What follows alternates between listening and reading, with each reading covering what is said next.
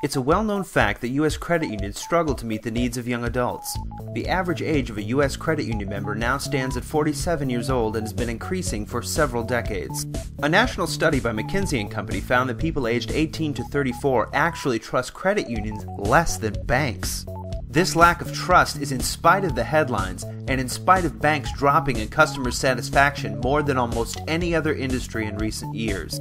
But let's zero in a bit more. According to a study by the Minnesota Credit Union Network, one in four young Minnesotans have no feelings toward credit unions at all. They are not even on their radar. But Grandma's lutefisk is.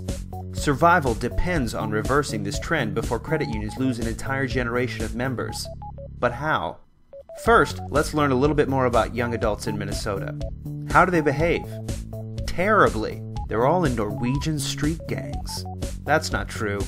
They share a lot in common with Xers and Boomers, but they also have their differences. Minnesota State Demographic Center says that today's young adult is more ethnically diverse, highly educated, apt to marry later in life, cohabitating more than previous generations, and they're also earning less and find it harder to pay for college, find a job, or buy a home than previous generations. Additionally, young adults have very different ideas about convenience and customer service. A Filene study found that 68% of young adults would not switch from online only banks like ING Direct or HSBC Direct because of their customer service. Their service model is you do it. We need to rethink our definitions. So, how can Minnesota credit unions reach young adults? Step 1 Understand their needs.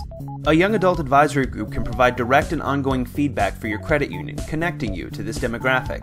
They can even sit on your board. Research should always make it easier to solve real problems. Get outside of your own head by observing real consumer behavior, finding the opportunities, and prototyping your ideas quickly and cheaply so you can discover how they work in the real world. Even better, use open innovation tournaments to let consumers help you solve your problems through a contest. Step 2 Create awareness. Good idea. Focus your message. The Minnesota study found three important themes to communicate trust, service, and savings. When the California Credit Union League launched an awareness campaign, they learned the following Keep language and themes simple, like avoiding credit union lingo, show specific benefits to potential members, and make sure your slogan is focused on helping solve people's problems. If you use social media, make sure you know four things Who are you targeting? How will you measure success? Why should anybody be motivated to participate? And what tools will help your participants achieve their goal. Step 3 Adjust products. Focus on helping with firsts, such as their first car, home, or credit card. Again, the meaning of convenience, service, and products is changing, and a seamless online experience is at the top of the list of young people's expectations. In order to compete with the likes of ING Direct, HSBC Direct, and Chase, credit unions should consider banding together to share the cost of developing a world class online experience. Think online shared branching. Step 4 Employees are key. While it's not exactly being the Vikings quarterback, Minnesota credit unions are a good place to work, and people shouldn't have to accidentally fall into them for employment. Reach out to high schools, technical colleges, and universities. Step 5 Measure for success. Monitor statewide numbers like average member age and number of accounts held by young members. Set goals around these numbers and work toward them together. Capture your success stories and share them with your community.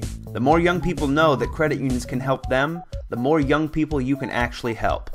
Finally, take action. Identify needs, build awareness, build products, grow your culture, and create measures for success. The future of Minnesota credit unions, your members, and your communities depends on it.